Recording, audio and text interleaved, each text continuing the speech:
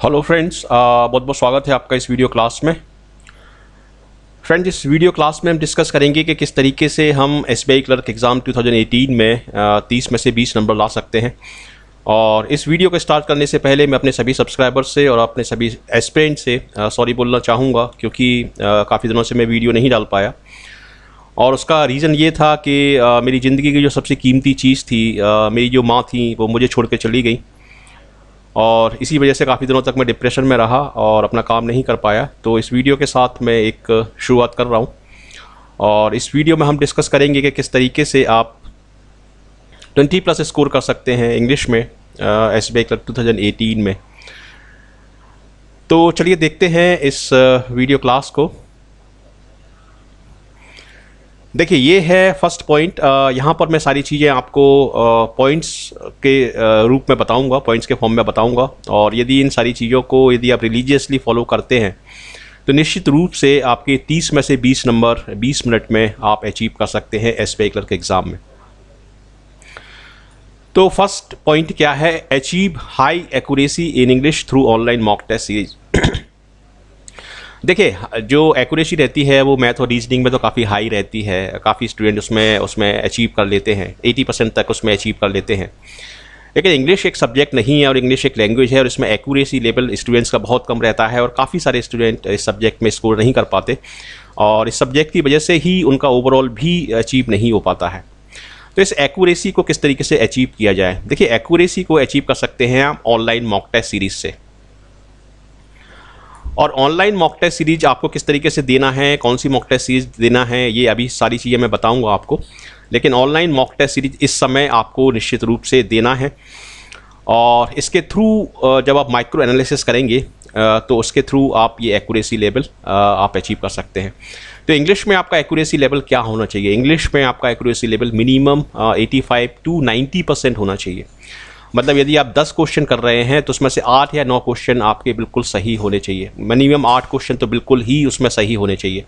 और ये एक्यूरेसी आप अचीव कर सकते हैं प्रैक्टिस से और प्रैक्टिस करना है आपको ऑनलाइन मॉक टेस्ट सीरीज़ के थ्रू ठीक है?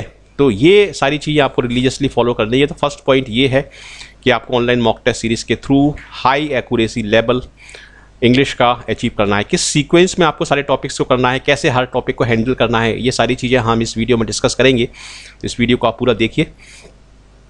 दूसरा देखिए, दूसरा पॉइंट ये है कि micro analysis of online mock test series is essential यदि आप ऑनलाइन टेस्ट सीरीज़ देते जा रहे हैं और एनालिसिस नहीं कर रहे कि आपका आधा नंबर कटा तो कहाँ कटा, आपका पॉइंट टू फाइव कटा तो कहाँ कटा, आपका सही क्वेश्चन हुआ तो क्यों हुआ?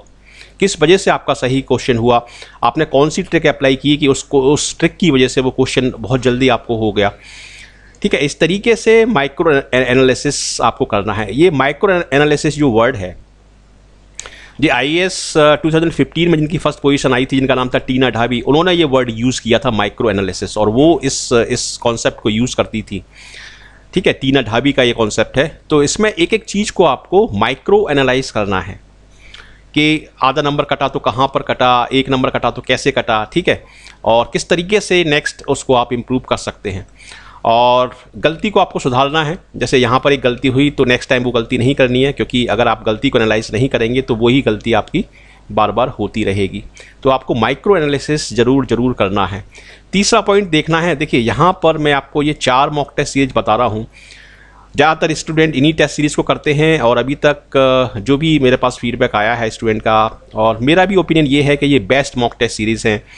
एक तो है आपकी आईबीपीएस गाइड इसको आप ले सकते हैं। एक है ऑलिव बोर्ड इसको आप ले सकते हैं। एक है टेस्ट बुक इसको आप ले सकते हैं।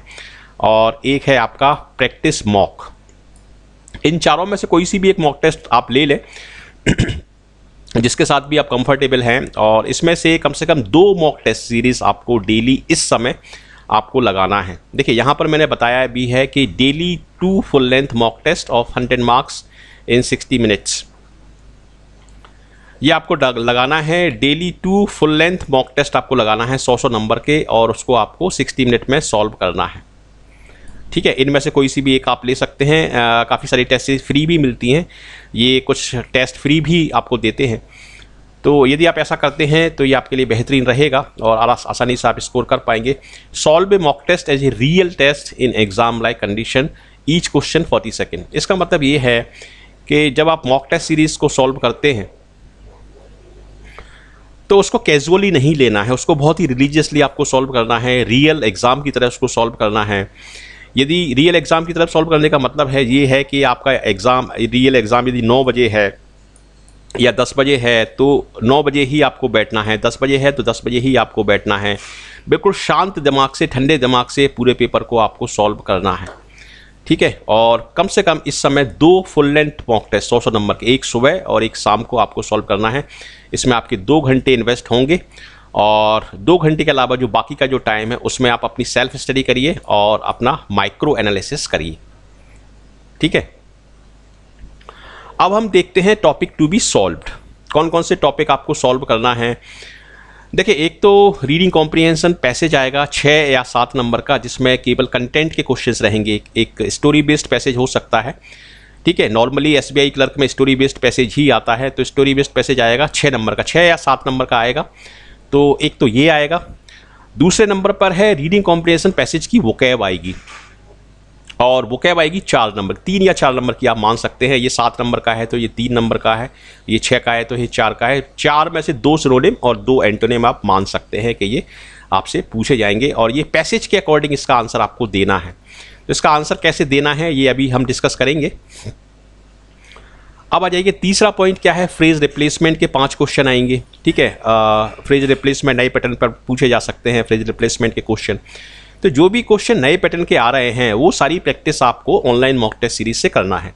क्योंकि जो टेस्ट सीरीज़ मैंने आपको बताई है, वो बेस्ट है और उसमें आपके सारे नए पैटर्न के क्वेश्चन और जितने भी तरह तरह के क्वेश्चन जो आ रहे हैं, वो सारे आपके कवर उसमें हो जाएँगे।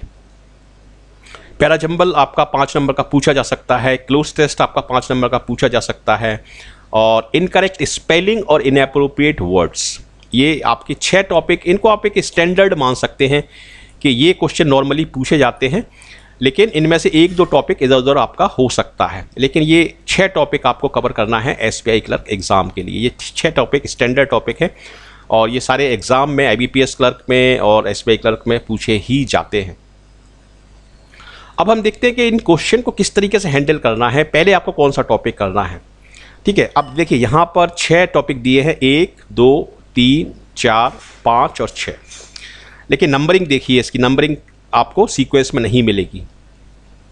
यानी इस सीक्वेंस में आपको क्वेश्चन करना है। ठीक है? तो सबसे पहले क्या करना है? सबसे पहले आपको करना है फ्रेज रिप्लेसमेंट क्योंकि इसकी यदि आपने प्रैक्टिस की है तो सबसे सरल है। ये मेरे हिसाब से सबसे सरल है। पाँच क्वेश्चन आएँगे इसमें आपके और आपका टारगेट जो होना चाहिए, वो होना चाहिए पाँच में से मिनिमम चार।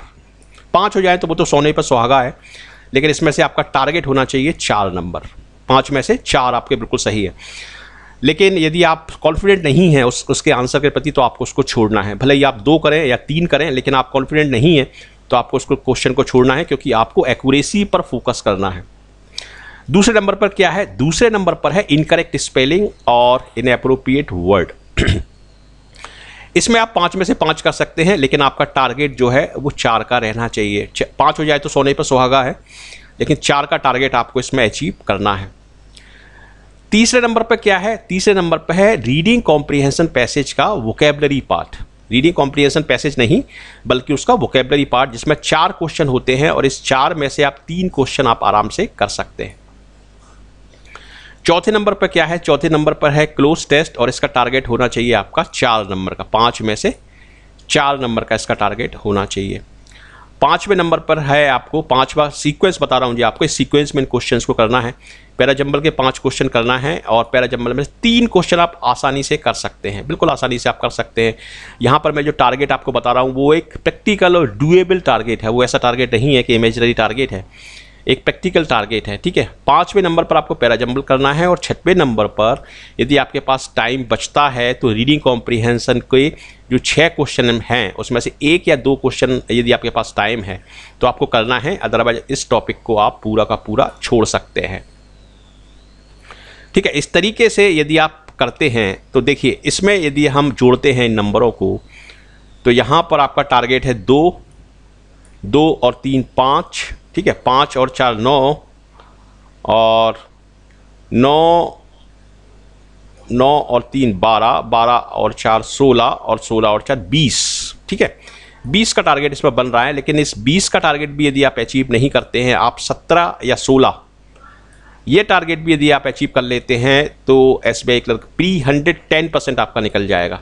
ठीक है? आपका ओवरऑल भी कवर हो जाएगा और आपका जो cut off sectional cut off है, वो भी आपका इससे निकल जाएगा। कट ऑफ़ टारगेट क्या होना चाहिए? कट ऑफ़ टारगेट देखिए इंग्लिश में वैसे तो मैंने 20 बताया है आपको, लेकिन 16 भी आप अचीव कर लेते हैं तो निश्चित रूप से आपका प्री का सेक्शनल और ओवरऑल दोनों निकल जाएँगे आपके। अर्थमेटिक में 28 टारगेट रखिए 35 में से 28 क्वेश्चन आप आराम से कर सकते हैं, क्योंकि इसकी यदि आप प्रैक्टिस करते हैं तो इसमें आप इतना टारगेट टारगेट आराम से आप अचीव कर सकते हैं। रीजनिंग में 28 टारगेट रखिए अपना, ठीक है? और ओवरऑल रखिए आप 72 यदि आप इसको जोड़ते हैं 28 और अट्ठाईस छप्पन और 16 बहत्तर आपका हो जाएगा। तो यदि इस तरह से करते हैं तो आपका यहाँ से ओवरऑल भी निकल जाएगा और आपका सेक्शनल कट ऑफ़ भी आपका निकल जाएगा। और यही सेम स्ट्रेटजी आपको मेंस में फॉलो करनी है। और यदि स्ट्रेटजी इसी स्ट्रेटजी को आप प्री और मेंस दोनों में आप फॉलो करते हैं तो निश्चित रूप से आपका एस पी का एग्ज़ाम आपका निकल सकता है। यदि आप हमारा ई कोर्स ज्वाइन करना चाहते हैं बैंक पीओ के लिए क्लर्क के लिए और एसएससी एग्ज़ाम के लिए, ये एक वीडियो कोर्स है, बहुत ही बेहतरीन वीडियो कोर्स है। इसमें घर बैठे आप मोबाइल के थ्रू लैपटॉप के थ्रू अपनी तैयारी शुरू कर सकते हैं। और इसमें सबसे अच्छी बात यह है कि इसकी वैलिडिटी लाइफ टाइम है। जब तक आपका सिलेक्शन नहीं होता है, तब तक आपको कोचिंग मिलती रहेगी इंग्लिश सेक्शन की। और इसमें कॉम्प्लीमेंट्री आपको करंट अफेयर्स भी पूरा कवर कराया जाता है। और बहुत ही कम फ़ीस है। इसका लिंक आप डिस्क्रिप्शन बॉक्स में नीचे देख सकते हैं और इन नंबर्स पर मुझसे आप बात भी कर सकते हैं। तो इस वीडियो क्लास में इतना ही। अब मैं आपसे मिलूँगा नेक्स्ट वीडियो क्लास में। Till then bye and have an awesome day thank you